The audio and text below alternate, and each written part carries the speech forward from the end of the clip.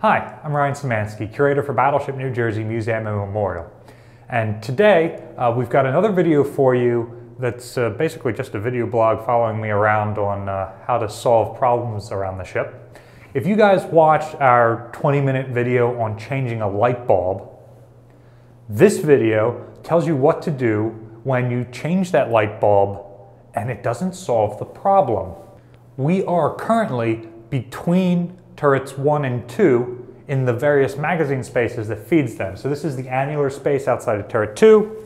Um, the camera is sitting in one of the turret two magazines, and this door leads to turret one magazine. That leads to the number three pump room, which is where the, the uh, ship's speed log indicator is that I always call the pit sword. And it's also an access point to the uh, catacombs under the ship that connect turret one and two and forward diesel and have all the wiring for it. And we, we've made videos about all these various topics. Check out the description below for uh, links to those. So uh, we had some lights in these spaces that were blinking. So sometimes that means a bad ballast or a bad bulb in these old fluorescent tubes. Uh, however, we came down, we looked at them, and they're, they've been, they're some of the ones that have been changed over to LEDs.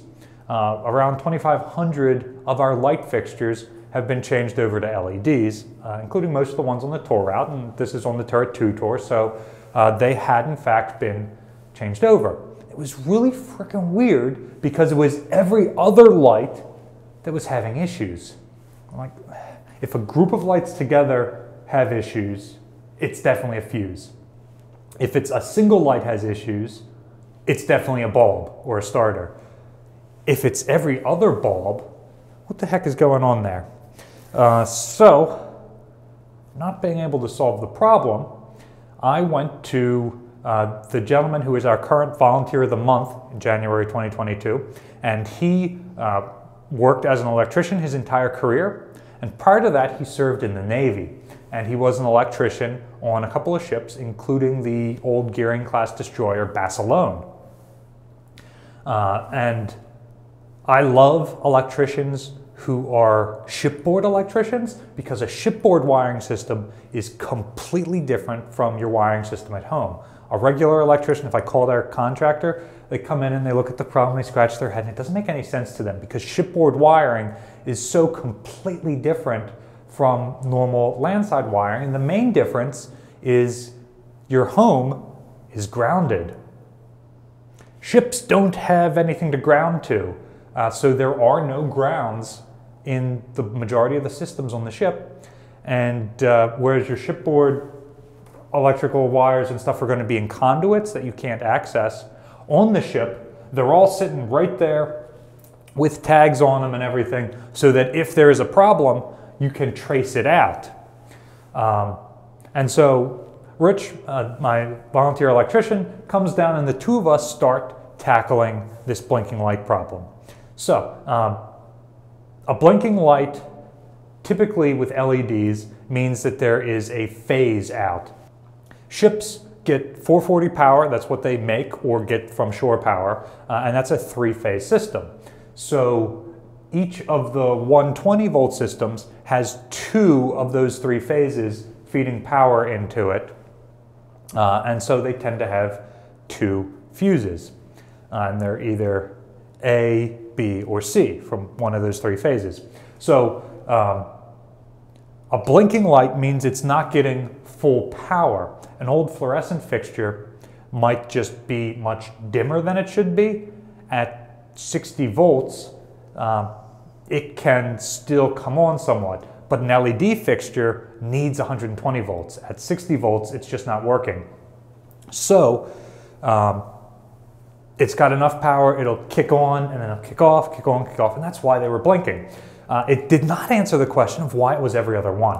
So we came over to the lighting box here, uh, and we were able to see some of these are labeled as lights ports, lights starboard, lights on this deck, lights on that deck, and some of them are labeled as emergency lights. Uh, and it turned out it was one of the emergency light circuits that was blinking, and that's why it was alternating. If the ship loses power, we've got an emergency diesel generator on board. However, that is nowhere near the power generating capacity of the entire ship. So down here where we're deep in the ship, there's no portholes, there's no other light or emergency lights uh, except a couple of battle lanterns. If we lose our main power, all the lights don't come on. Only a fraction of them are on the emergency circuit. And so that's why it was every other one that was out and every other one was in a regular lighting circuit. So, okay, that solves one problem for us. And we're able to go back to the box here. And if you turn off the master switch, it kills all the lights. You unbolt this and open it up, and then you've got your fuses, two for each switch. We were able to use a multimeter to test and see where we didn't have 120 volts on both sides of a fuse. It meant that the fuse had blown. But the problem wasn't here.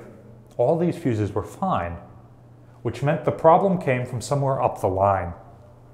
Fortunately, most of the boxes still have their old Bakelite tags on them that tell you where they're fed from. This is 2FE107. So now we just have to find the feeder for 2107. Uh, and we can follow because many of the wires still have tags on them, like this one that says 2FE uh, 1017. So we can chip the paint off of these and then follow that wire around in its bundles. Uh, that wasn't working for us. There, there's too many wires down here and uh, we couldn't tell where this was going. So we went to the source. Uh, we went to engine room one, which we thought might provide the power for here. And we did find the electrical power for the main lights on the circuit, but not the emergencies and that all seemed to be working fine. So we went to the forward diesel generator room and we found the circuit for the emergencies and that was all fine. Uh, and again, the bundle wires coming out, we couldn't trace it from that end either. So we knew there was a problem somewhere in between. And it's very common for uh, switch boxes like this to have a larger feeder panel that feeds a couple of the switch boxes and then that itself is fed from an engine room, a diesel generator room, wherever the power is coming from. Uh, so at this point, we're completely lost. We, there are boxes like this all over the ship. We got no idea which one feeds this. And the ship had so many modifications over the years, it doesn't necessarily make sense. The box isn't always on the same deck or in the same location. Sometimes they wired in wherever they had a spare circuit and it ends up being on the other end of the darn ship. Uh, but we got lucky. Come over this way. So now we're in uh, the powder handling level of turret two, the, lowest level. We're, we're still on fifth deck. Um, Rich and I spent a tremendous amount of time up on third deck where there's a ton of wiring boxes looking around trying to find the one that fed into the turret. Uh, and we just couldn't find it. But Libby saw this plate here, electrical booth number two, which is down one deck below us here. Uh, so we went down there to see, hey, maybe does that electrical booth power the lights here? And we know that all the power for the big motors up in the turrets comes from the diesel generator room through the catacombs into that space. And there's this big spider web looking thing of, of huge uh, cables running up the trunk in the center of the turret. But that doesn't mean that the 110 lights and emergency lighting circuits are down there. Uh, but we decided to look anyway. So uh, this whole railing around this was added when we opened Turret 2 up as a tour. This isn't part of the uh, original layout of the space.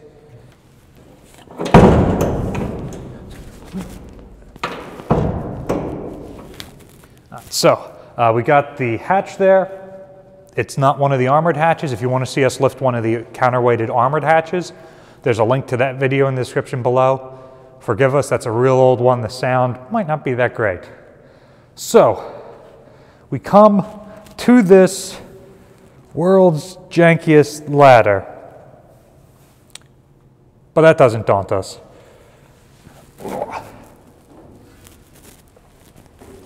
I have no idea what they grabbed onto before we installed this stairwell here because there's no grab bar or anything at the top. So we come down here to the electrical booth and sure enough, there's all of the boxes, the fuse boxes that uh, have power coming into them and then lines going out for the various lighting boxes around the ship. So at that point, it was a simple matter of finding the right one with the right tag and checking those fuses and it turns out that this is the one that had blown. You know, in a perfect world, it's the fuse at the switch box that blows and then this one's a little bit bigger because it's feeding more and that one's a little bit bigger uh, down the line and so on and so forth. But you know, sometimes we get these situations where these fuses are pretty old. Um, the surge happens down the line here and that's where the fuse fails and you got to trace it out. Uh, so that's not interesting. We've changed fuses before. Um, if you don't know what a fuse looks like, it's this. You use a special pair of pliers that are not made out of metal. They're called fuse pullers. And you put it in, it's got a pair of brackets here and here, and uh, that clips the fuse in place. The fuse inside is basically just a thin metal strip. That metal strip is supposed to be very conductive with no resistance. So when it's working right, the electricity is coming into the box, it's going through the fuse and it's going out of the box to the light panel or whatever. Uh, but if too much power, too many amps of power go through this, and this particular one is a 15 amp fuse, uh, if more than 15 amps go through it, it melts through that metal strip and then there is a gap. It opens the circuit so power comes in, but it no longer goes out. And that means that if something gets damaged, we're struck by lightning, or whatever the case is, um, that surge is not going to go through this whole system and then blow out light bulbs and electrocute you when you hit a light switch or whatever the case may be.